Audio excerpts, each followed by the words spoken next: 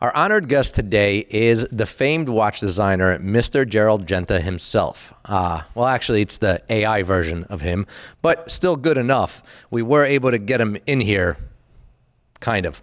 Uh, before I start, before I bring on Mr. Genta, I'd like to announce a giveaway today. Today's giveaway is a free Batman rug from graphicrugs.com. All you have to do to enter is follow at Graphic Rugs on Instagram, comment Graphic Rugs on this video, and seven days from this video premiering, we will choose one winner and you'll get a brand new Batman rug. So, Mr. Gerald Genta himself is joining us today. Let me bring him on. Uh, good morning, Mr. Gerald Genta. How are you? Good morning, Avi. Thank you for asking. I'm always passionate and excited to talk to other watch enthusiasts, and specifically about watch design, so I'm doing quite well today. Just a heads up Wi Fi is pretty crappy up here, so I hope you can hear me and see me just fine. You should get Elon Musk's uh, Starlink in there. Ha ha ha ha ha. All right, Gerald. Uh, again, uh, I want to thank you for joining us. And I wanted to start with my first question. My first question for you is At what age did you start designing? My father was a skilled watchmaker, and I grew up in a family where watchmaking was part of our daily life. I began my apprenticeship in the watchmaking industry at the age of 15, which laid the foundation for my future career as a watch designer. My interest in design and creativity continued to grow and I went on to pursue formal education in art and design. I attended the École des Arts Techniques in Geneva, where I honed my skills in drawing, engraving, and other artistic disciplines. After completing my education, I embarked on a successful career as a freelance watch designer, working with various renowned watch brands and creating many iconic watch designs that are still celebrated today. Nice, I got you. And where did your design inspiration come from? I mean, is this just natural? How did this come about? I believe that inspiration can be found in everyday life, in nature, in art, in architecture, and in many other facets of the world around us. Here are some of the main areas from which I drew inspiration for my watch designs. Nature. The beauty and intricacies of nature, such as the curves of a flower petal or the patterns of a seashell, have often inspired my designs. I have been captivated by the organic shapes, textures, and colors found in nature and have incorporated these elements into my watch designs. Art and design. As an artist and designer, I have been influenced by various artistic movements and design styles, ranging from modernism to Art Deco, and have drawn inspiration from the works of renowned artists and designers. I have been inspired by the use of shapes, colors, and textures in art and design to create unique and visually appealing watch designs. Architecture The lines, forms, and materials used in architecture have also been a significant source of inspiration for my watch designs. I have been intrigued by the geometric shapes, structural elements, and aesthetic principles used in architecture and have incorporated them into my watch designs to create visually striking timepieces. Watchmaking tradition being born into a family with a watchmaking background, I have been inspired by the traditional techniques, craftsmanship, and heritage of watchmaking. I have drawn from the rich history of watchmaking and incorporated elements of traditional watch designs into my own creations, while also pushing the boundaries of innovation and modernity. Personal experiences and observations. My own personal experiences, observations, and interactions with the world have also influenced my designs. From my travels to my interactions with people and cultures, I have been inspired by the diverse and ever changing world around me, which has informed my creative process and resulted in unique and diverse watch designs. Overall, my design inspiration is a fusion of various elements, ranging from nature to art, architecture, watchmaking tradition, and personal experiences. Out of today's most popular watch models, which one would you consider to be your favorite? It's difficult for me to pick a single favorite among today's most popular watch models, as there are many exceptional timepieces out there. However, if I had to choose, I would say that the Royal Oak Offshore would be one of my favorites. This model is a modern interpretation of my original Royal Oak design, with a bolder and more sporty aesthetic. I appreciate its robust construction, distinctive octagonal bezel, and oversized proportions, which give it a commanding presence on the wrist. The Royal Oak Offshore represents a daring and innovative approach to luxury sports watches, and I'm always impressed by the way it pushes the boundaries of traditional watch design while staying true to the original spirit of the Royal Oak. Yeah, there's a, a lot to choose from. I appreciate your choice. Obviously, you having some, you know, something to do with that design itself. Now, what do you think about today's luxury watch prices? I mean, they're kind of astronomical, obviously based, you know, off of, you know, inflation and all that other stuff. But even from the time that you were manufacturing or designing watches, prices have really shot up, especially the hype around watches. What are your thoughts about all this? I believe that luxury watches are not just timekeeping instruments, but also works of art and expressions of craftsmanship. They represent the culmination of years of expertise, creativity, and attention to detail, and the prices of luxury watches often reflect the value of these attributes. While it's true that the prices of some luxury watches have increased significantly over the years, I believe that they are often justified by the quality of materials, precision of the movements, level of finishing, and the brand's heritage and reputation. Additionally, luxury watches often require substantial investments in research and development, as well as limited production quantities, which can further drive up the prices. That being said, I also understand that the price of luxury watches may not be accessible to everyone, and affordability can be a subjective matter. It's important for collectors and enthusiasts to carefully consider their budget and priorities when investing in a luxury timepiece. As a designer, my primary focus has always been on creating exceptional timepieces that are appreciated for their design, craftsmanship, and innovation. While price is certainly an important aspect, I believe that the true value of a luxury watch is ultimately determined by the emotional connection it brings to the wearer and the appreciation of its artistic and technical merits. I got you. Yeah, absolutely. You know, we totally agree. The price of a watch depends on the wearer or the purchaser. You know, you kind of pay for what you think is worth it. Um, but obviously, from what we're seeing today and what we've seen over the last few years, people are paying a lot more for watches that may not actually be worth it, mostly for the investment purpose. They have been reselling them.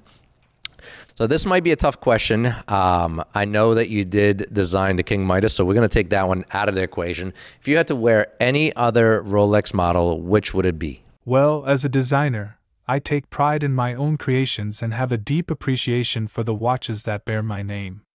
However, if I were to choose a Rolex to wear, it would likely be the Rolex Submariner.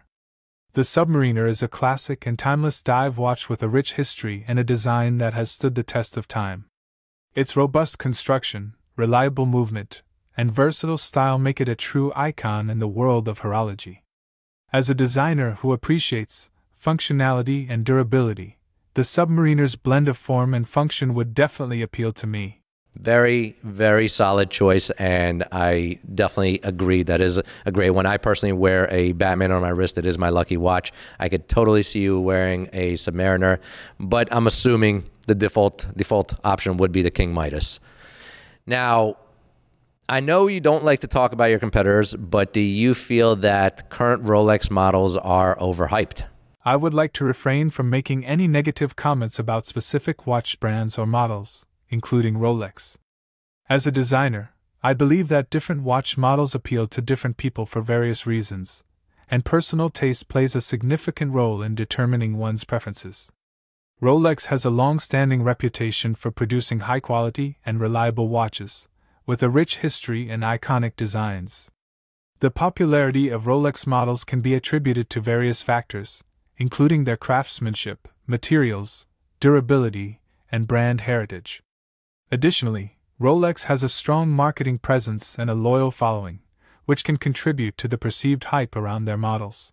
Very, very good answer. Very political. Um, yes, they. It is based on the user and the wear again, and people are choosing to purchase products that they feel fit them, and obviously that drives the price.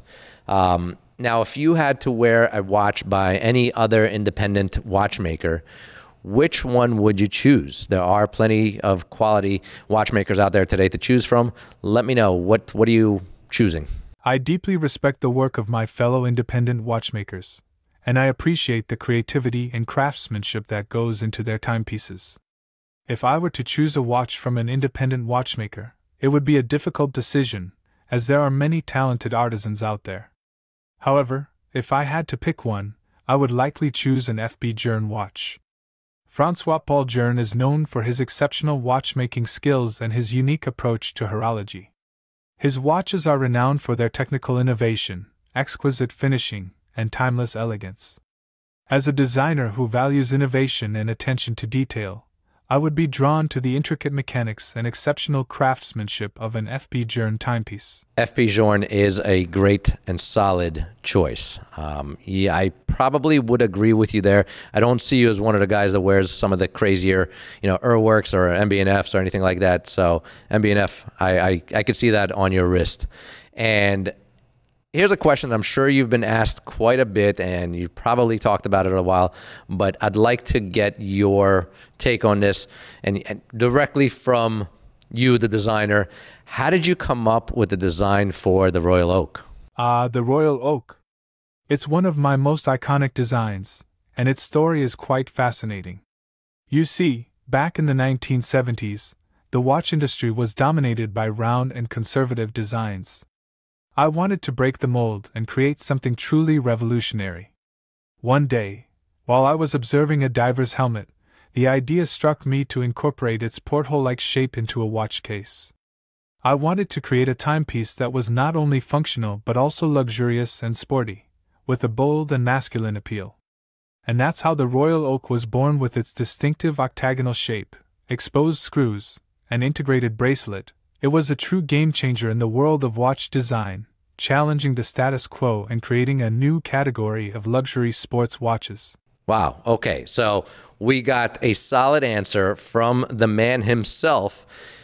I'm not really sure how you were just sitting out there observing a diver's helmet, but the fact that you were inspired by seeing that and by you know the whole porthole design uh, I don't know if you watched the episode where me and Marco were laughing at the word porthole over and over and over again, but you, if you haven't, you should definitely go back to that one. That one will make you laugh. Um, so again, I just I wanted to applaud you for being inspired and, and taking that inspiration and turning into a design that's been timeless and, and is still very much respected in the watch world, if not, you know, in the in the entire world itself for the design. Did you know, and I know this is a tough one, obviously, nobody actually knows what happens, but did you know or did you think that this design is going to be successful? I mean, given the fact that all other watch shapes did not match your design, that yours was very avant garde, what did you think was going to happen when you released this? I must admit that while I had confidence in my design for the Royal Oak, I did not foresee the immense success and lasting impact it would have in the world of luxury watches. When I initially created the Royal Oak in 1972 for Audemars, it was a daring and innovative design. This unconventional design challenged traditional watchmaking norms and was considered controversial at the time. The success of the Royal Oak was a pleasant surprise to me and has left a lasting legacy in the world of luxury watches. It has been humbling and gratifying to witness the enduring popularity and recognition that the Royal Oak has garnered over the years and I am proud to have contributed to such a significant design achievement. A pleasant surprise for sure, and definitely a lasting legacy. Good job on that one. Um, what do you happen to think about today's watch designs, if you don't mind me asking? Well, I must say that I find today's watch designs to be quite intriguing and diverse. The world of horology has evolved significantly since my time, with new materials, technologies, and design trends constantly emerging. I'm impressed by the level of creativity and innovation displayed by contemporary watch designers. I see a wide range of designs, from classic and timeless styles that pay homage to traditional watchmaking, to avant garde and cutting edge designs that push the boundaries of what's possible in terms of form and function. I appreciate the use of unconventional materials, unique case shapes, and bold color combinations that add a fresh and modern twist to watch design. However, as a designer who values timeless elegance and functionality, I also believe that it's important to strike a balance between innovation and practicality. A well designed watch should not only be visually appealing, but also be easy to read, comfortable to wear, and built to last.